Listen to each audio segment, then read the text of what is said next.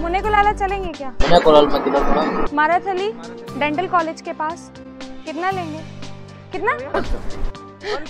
यहाँ से माराथली तक का 150 लेंगे आप। मीटर से चलो। मीटर कोई भी नहीं आप लोग मीटर से क्यों नहीं चलते मुझे समझ में नहीं आता। मना कर दिया। नहीं जाएगा वो।